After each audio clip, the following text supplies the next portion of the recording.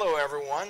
I am Kyle Roberts, joined by Tom Cogswell Hello. and the Spektrum team. Yeah. We wanted to put together a real quick video on updating your firmware on the DX6R. We just announced the uh, Raceware 2.02 and figured this was a perfect opportunity to, opportunity to show you guys how to quickly do this and make it nice and easy. Yeah, I mean it's super easy, but if you haven't done it before, you know this might be kind of daunting to you. So we'll show you how easy it is, and along the way we'll explain the benefits of 2.02. Yeah. There's a big one.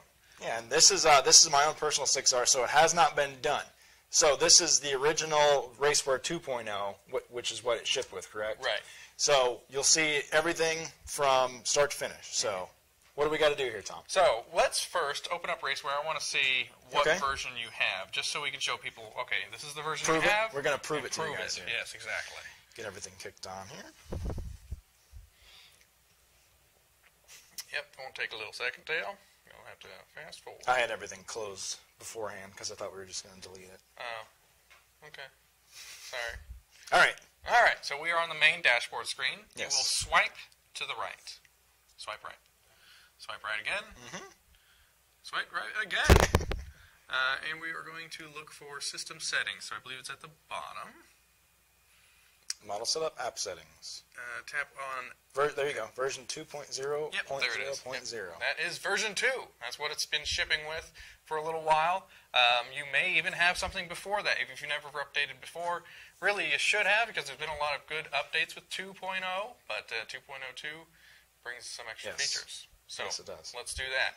Um, real simple. So you don't have to register your radio Mm-hmm. and find the serial number or anything like that to update this radio. It is built into Google Play into the Android system. That's what's so cool about these Android-enabled radios like the iX12, um, where And you'll I be am, able to. I am connected to Wi-Fi already. I should Good. point that out. You have to connect to Wi-Fi to do this. Yes, I was about to say that too, but you got to connect to Wi-Fi, so make sure you have a Wi-Fi access point around and you know the password to it and all that. Don't be calling us to ask us for the password; we don't know it. Um, so let's go to the Google Play Store. Got it. Let me see. Actually, mine is not a shortcut. Play Store. and you will search for Raceware. Bear with us while we type here. Going to block the screen probably a little bit. Oh, look, it's in my history. How All about right. that? Hmm. I'm just going to go ahead and make that a little easier. It's Okay. almost like we planned it. Top one is Raceware. We'll tap on that, Now it says installed, obviously because we have the 2.0. Mm-hmm. and you've got the word ah, update there. Look at that. Yeah. So you could scroll down and kind of show. Uh, it'll have a, couple of added little mm-hmm. bullets and things like that. Give you some information. Kind about the refresh. Raceware. Yeah. But we'll, we'll update it now. Perfect. Did I hit it? There we go. Make sure you read, guys. You got to read this stuff. It's important. It's not a lot of reading. Don't always just accept the terms and conditions, right? All right, there we go. Downloading. yep. So Kyle, he backed up his models on his uh, DX6R. Yep. I don't believe you have to do that, but it's always a good idea to back up your models before you do an update, just in case something. It's super easy. Like I did, I, I did it in like, like not even three minutes. I was gonna say three minutes. It was probably like a minute. Right. It's very easy. And now we're just at the mercy of Our technology. Installing. Okay, so we're installing. Uh, we'll take this opportunity to kind of go over what is new. Yep. Oh, Look at it's already done. Um, so what's new with this Raceware? Uh, simple. There's a way to use the scroll wheel on the back to navigate the menus. It goes up and down as you scroll. We've added telemetry, uh, a couple of telemetry features. You can use the TM1500 with it. Uh, so that's our telemetry module that you can plug into a receiver.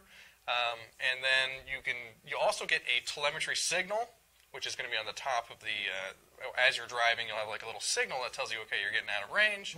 You can come back. It's pretty it's pretty useful. But the biggest thing that's new is DSM2 compatibility. Yes. So before the DX6R was DSMR only. Uh, we were just trying to see if you know if that was something that people would adopt. Uh, and we decided that you know what, let's give them DSM2. So we worked hard to do that, and now it's available. All right, we're saying update successful, and it looks like we just have to do a quick reboot here. So as it, you saw there, it just went through the update. It updated the channel processor, or what we call the CP. And he's going to go ahead and close out all of the apps that and were I there. just hit settings because it was right below where my finger was. And let's see, where are we at? Oh, I'm gonna have to redo my shortcut Yep. here, aren't I? So Anyway, when, whenever you update uh, Android app on these, you have to put the up, uh, the app icon back on your Yep. home screen. So you can, you'll find it in the menu, and you just go ahead and just hold and put it down. Yep. Booting it back up here.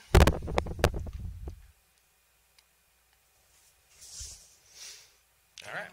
See, he's still got his models there, so it didn't delete his models. Um, we could show everyone. Going to show everybody what models he's got on Yeah, there. perfect. I love it. You can put your own pictures in it and everything. You got that all hooked up. Oh yeah. Yeah. It's easy. It is easy. I love this radio. Let's show everybody that it did update, just to kind of say, okay, it is on 2.02. So Okay. see if you can Same way, we're going to swipe all the way back to where we were, which was here, and go up. Look at that, version 2.02. Mm-hmm. And I'll kind of show you. We can scroll up and down using the little scroll wheel. Oh, it's kind of handy. I mean, it might seem kind of gimmicky, but I think it's cool. Yeah, I mean, everything's still functionally with your finger, you can do it, but now, as you see, I'll take my hand away and go to the wheel, and you can do the same. So, That's pretty handy. yeah. Yeah. Awesome. Okay, so We're done, basically. I mean, It's done. and now he can bind to his old DSM2 receivers. Awesome.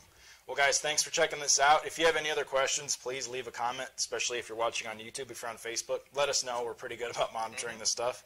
And uh, either I'll jump on there or Tom will jump on there and Yeah. help you guys out. Spektrum so, RC's Facebook and Horizon Hobby. Yeah. We'll be there for you. yeah, thanks, guys.